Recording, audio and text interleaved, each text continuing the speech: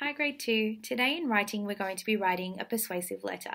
Now, you're going to write your letter to a family member. You might want to ask them to buy you a new game, a new toy, or maybe you'd like them to make you something yummy for dinner. Now, you're going to watch the video first that I've uploaded onto Weebly, and it's called I Want an Iguana. Now, we did look at this in class, but I'd like you to go back and watch it again so you can familiarize yourself with how to write a persuasive letter. My example of my letter will be shown on Weebly as well, and I can't wait to see all of your letters. I wonder what you're going to ask for.